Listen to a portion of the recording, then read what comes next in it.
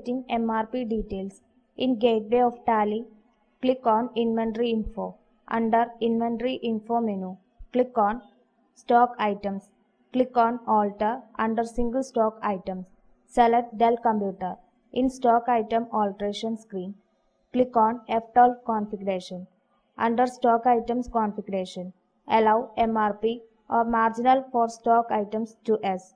Skip all the other fields in default and go back to stock item alteration screen. Skip other fields in default. Enable the option set or alter MRP details to S. In MRP details screen, allow MRP modification in vouchers to S. Skip the field. Type the MRP rate as 26,200. Press enter to accept the screen. Press escape button to go back to gateway of tally.